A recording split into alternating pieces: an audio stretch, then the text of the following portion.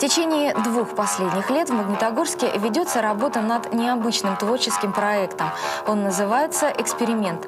Сотрудничество нескольких нетрадиционно мыслящих людей позволило воплотить в жизнь выдающиеся, но крайне спорные произведения в области искусства, литературы и философии.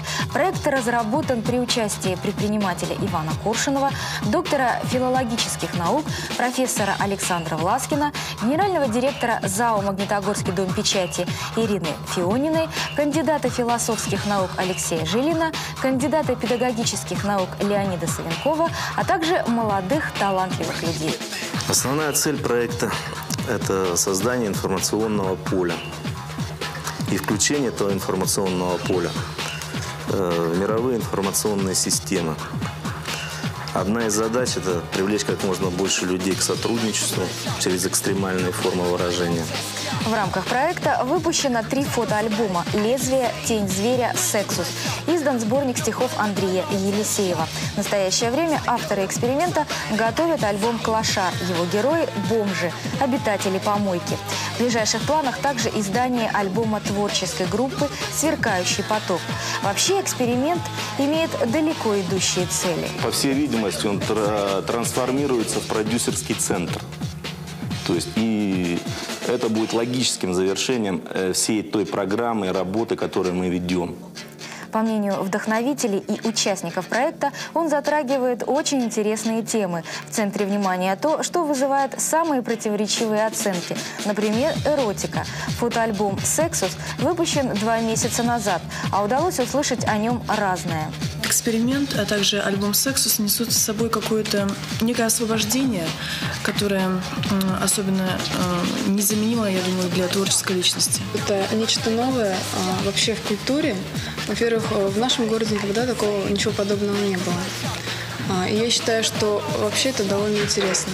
Это может быть какой-то шаг э, к свободе личности. Все видят по-своему, но нас это устраивает, в принципе потому что все должно вызывать живой интерес.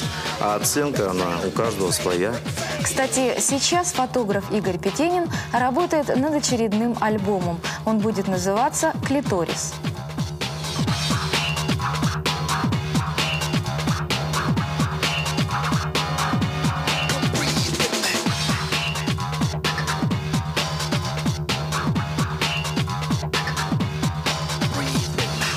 Одним из идейных вдохновителей проекта «Эксперимент» является руководитель Центра помощи хищным животным и птицам «Маэстро» Андрей Елисеев. Его можно назвать творческим ядром проекта. Я не считаю, что то, что делает Андрей, оно выходит э, за рамки какой-то логики. Другое дело, что все мыслят стереотипно и на многие вещи не обращают внимания. Э, стало обычным э, убийство, на бытовой почве. То, что Андрей демонстрирует в своих трюках, это лишний раз доказывает, что природа живой, ее бояться не надо. Наоборот, к ней надо как можно приближаться. А опасность несет цивилизация или то, что человек создал. Спросите, зачем нам все это нужно? Трудно ответить, но глупо делать вид, что этого не существует. Авторы же проекта, помимо желания самовыразиться, думают и о прозе жизни. Человек творческий, он не должен стоять с протянутой рукой и просить деньги. Он должен научиться зарабатывать. И все-таки творческий человек, он может научиться и будет зарабатывать. Мы ему поможем в этом.